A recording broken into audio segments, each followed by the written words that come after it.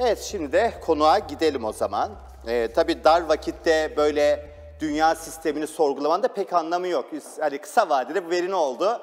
Cepleri nasıl etki ediyor? Dolar ne olacak diye konuşacağız. Ee, sevgili Emre Çayırlı'ya. Emre ben her yayında böyle kapitalizmi ya da dolariz, dolarize olan dünyayı sorguluyorum ama şimdi zaman değil herhalde değil mi? Tarım dışı istihdam verisi geldi. Hani onu soralım böyle. Hemen sıcağı sıcağına söyleyeyim. Ben hani beklentiler üzerinde iyi gelen data diye söyledik ama piyasanın sevmediği taraf aslında. E, bu hafta aslında şunu da gördük, iki tezat noktayı. E, Amerikan dataları kötü gelince bu defa piyasalar kötü veri olumlu fiyatlamıştı.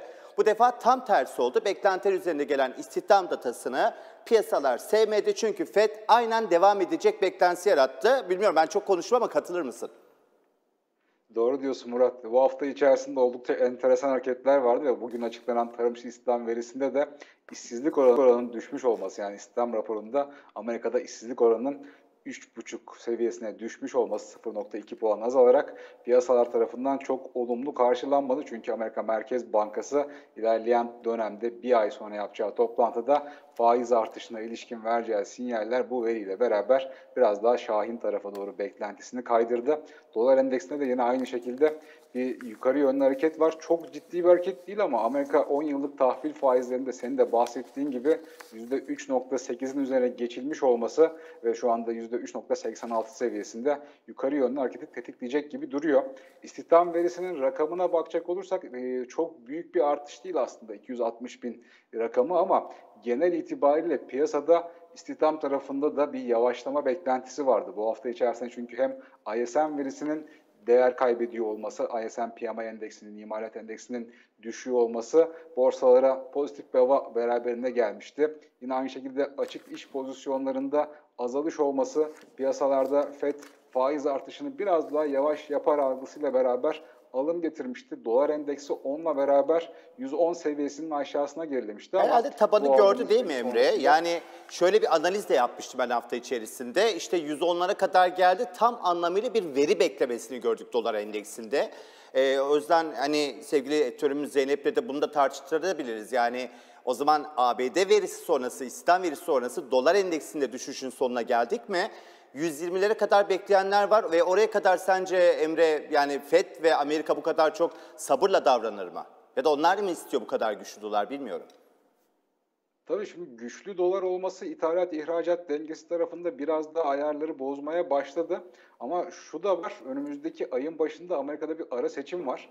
Ara seçim öncesinde e, önümüzdeki hafta Amerika'da enflasyon rakamı açıklanacak ve özellikle orada da çekirdek bazda enflasyonun geçtiğimiz aydan sonra yine 0.2 puan artması bekleniyor. E, enflasyon dediğimiz zaman içerisindeki ana unsur enerji enerjiyle ilgili olarak bu hafta OPEC toplantısında 2 milyon varillik üretim kesintisi yapılması sonrasında zaten petrol fiyatları hafta başına göre %10'dan fazla değer kazandı geçtiğimiz haftanın kapanışına göre. Yani bu şu demek oluyor eğer petrol fiyatları 100 dolara doğru yükselişine sürdürürse ki beklenti bu yönde önümüzdeki aylarda Amerika'da enflasyon biraz daha artmaya başlayacak. Ve bundan dolayı önümüzdeki hafta salı günü açıklanacak olan enflasyon rakamı da yükseliş gösterirse o zaman zaten piyasalarda daha şahin tonda mesajlar evet. beklenen bir Fed olacak ve dolar endeksi tabii senin de bahsettiğin gibi belki 115 seviyesi devamında 120 evet. seviyesini bize gösterme potansiyelini barındırıyor. E şimdi ben tabii dışa baktığım için içeriye arkadaşlar bakıyor. Yani artık dünyanın da şu noktasına geldik. İçi senin dışı beni yakar misali. Hani Türk lirası Türk lirası demek istemiyorum ama bir taraftan da hani Hani sonuçta e, vatandaşız ve bakmamız gerekiyor.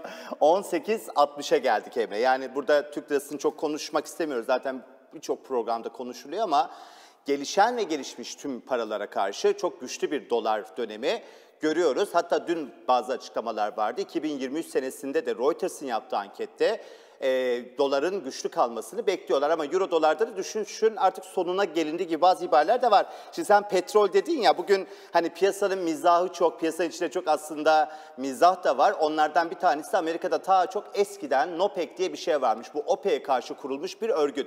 Şimdi Amerika hani dünya aslında çok değişiyor, teknoloji ilerliyor falan diyoruz ama yok yani hiç değişen bir şey yok. Yıllar öncesinin kararı şu anda gündemde ve senatodan OPEC'e baskı, OPEC Plus'a baskı geldi senin söylediğin gibi. Çünkü petrol artması Amerika'da enflasyonu çok daha yüksek bir boyuta getirecek ve e, Chuck e, Schumer e, bunu getirmiş. E, tekrar OPEC gündemde onu da söyleyelim. Biraz hani e, fazla e, şey oldu ama e, haberlerde paylaşacaktık.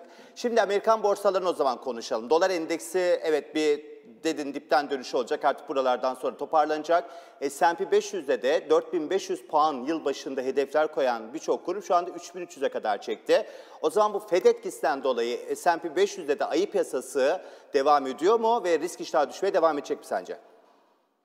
Tabii S&P tarafında da bu hafta bir toparlanma geldi ama genel tablo değişmedi Amerika'da ve faiz oranları yükselmeye devam edecek. Ekonomik büyüme zaten hem Amerika Merkez Bankası projeksiyonlarında oldukça düşük, seviyelere çekilmişti. Hem IMF tarafında hem Dünya Bankası tarafından gelen açıklamalar da benzer bir şekilde ekonomik büyümenin parasal sıkılaşmalarla beraber yani sadece FED değil Avrupa Merkez Bankası, İngiltere Merkez Bankası neredeyse bütün merkez bankaları faiz arttırıyor. Bununla beraber ekonomik büyümeler yavaşlaması gündemde önümüzdeki iki çeyrekte. E bununla beraber de Amerika borsalarında da aşağı yönlü hareketler biraz daha ön planda kalmaya devam ediyor ve yükselişleri çok kalıcı bir şekilde görmüyoruz. Bundan dolayı S&P tarafında da aşağı yönlü hareketler ön planda kalacak diye tahmin ediyorum. Hı hı. Geçtiğimiz haftalarda zaten Haziran ayı dibinin de aşağısına geçen bir S&P vardı yani. 3600 seviyesinde gerisine geçen bir S&P gördük. O yüzden bundan sonraki süreçte biraz daha aşağı yönlü hareketler sanki ön planda kalacak ve eğer enflasyon datası da beklendiği gibi yükseliş devam ederse o zaman önümüzdeki hafta sanki biraz daha S&P'de aşağı yönlü hareket devam edebilir. Teknik olarak bence orada 3500 puan seviyesi önemli.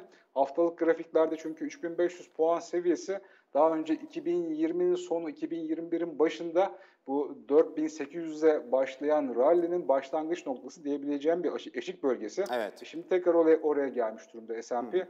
Bundan dolayı eğer 3500'ün aşağısında kalmaya başlarsa belki biraz daha önümüzdeki dönemde satış baskısının olduğunu görebiliriz. Ama tabii ara seçimi unutmamak gerekiyor.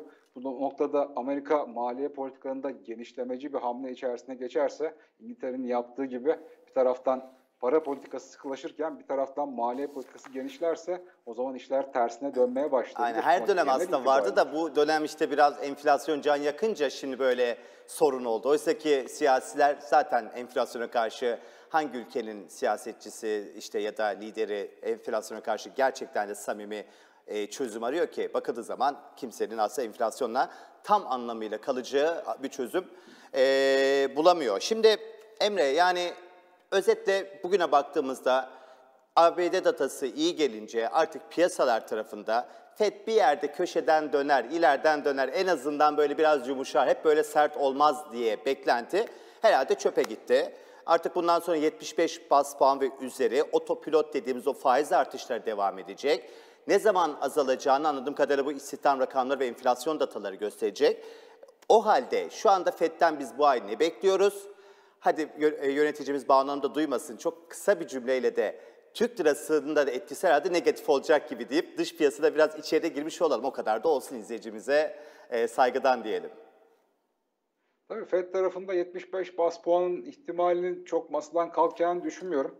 Bu önümüzdeki iki toplantıda da 75 bas puan gelebilir veya e, Aralık ayı toplantısında belki biraz daha ekonomi yavaşlamaya başlarsa 50 bas puan görebiliriz ama şu bir şu net bu yılın sonuna kadar Amerika Merkez Bankası faiz artırımlarına devam edecek. 2023'te faizleri düşürebilir diye konuşuyorduk senenin başında ama e, artık 2023'ün ortasına kadar da kolay kolay faizi indirecek gibi bir tablo ortaya koymuyor. Çünkü Fed başkanlarının bu hafta yapmış olduğu, geçtiğimiz hafta yapmış olduğu bütün açıklamalar erken bir faiz indiriminin enflasyon üzerinde çok da olumlu bir etki yaratmayacağı yönündeydi. Yani bundan sonraki süreçte en azından Amerika Merkez Bankası e, önümüzdeki yılın ortasına Hı. kadar şahin tonda kalmaya devam edecek diye tahmin ediyorum. E, bununla beraber de dolar endeksindeki kuvvetlenme dolar TL'yi de yavaş yavaş yukarı yönde destekliyor.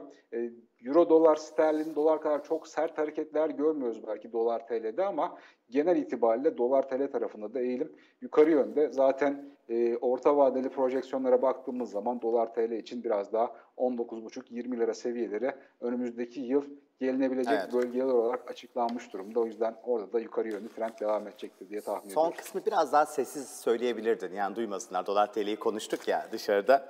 Hadi şaka bir yana çok teşekkür ederiz. Hakkaniyetli değerinin Türk lirasının buralar olmadığını birçok yorumda gördük. Adil değeri çok daha yüksek deniliyor. Sıcağı sıcağına Emre bu yayında bize katıldığın için ve verileri kendi uzmanlık çerçevesinde yorumladığın için çok teşekkür ederiz. Faydalı bir yayın olduğunu düşünüyoruz izleyicilerimiz efendim. Evet Emre